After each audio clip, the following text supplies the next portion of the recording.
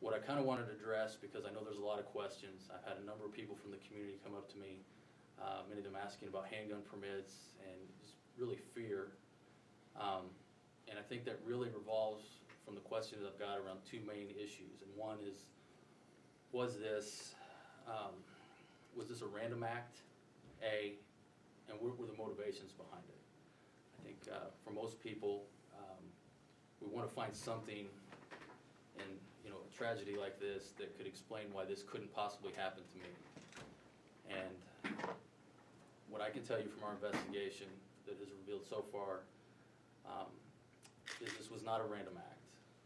Neither the victim nor his apartment were selected randomly. And what our investigation has concluded at this point is that the victim did absolutely nothing um, out of the ordinary or in any way that would explain why this was done to him. Okay?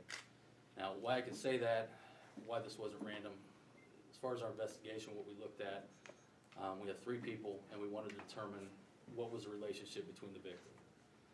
Um, what I can tell you regarding Mis- Mr. Collins and Mrs. Featherston is that there was absolutely no prior relationship. Our investigation has revealed that they, the best that we can tell at this point, they never had a conversation. Um, Now, in regards to Donald Featherston, um, he also has had no prior formal introduction or conversation with the victim. However, the nexus that exists is the victim's girlfriend. Mr. Featherston had dated her prior to her relationship with the victim. And for that reason, we began to look at that relationship.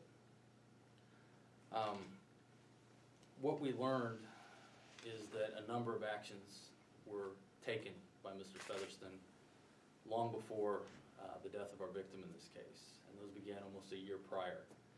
Now, these actions were not known by either the victim or his girlfriend. Those actions included following um, our victim from the girlfriend's house to his apartment on more than one occasion, and random trips to the parking lot to determine whether the victim's car was there. The reason for that was if the car was there, he was not with a girlfriend. And these happened, like I said, over the course of approximately a year before this incident.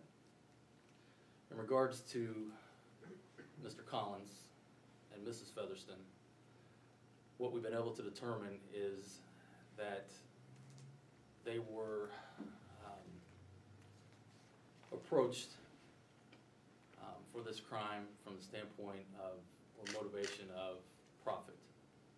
Whereas with Mr. Featherston, um, his reason or motivation for this appears to be that he um, wanted to reinitiate his relationship with his uh, prior girlfriend, and that without our victim in the picture, that that could be accomplished.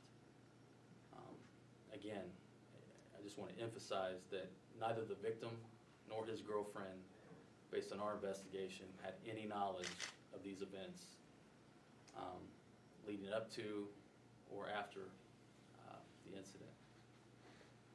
So I hope that that at least answers some of the, the broader questions regarding this investigation.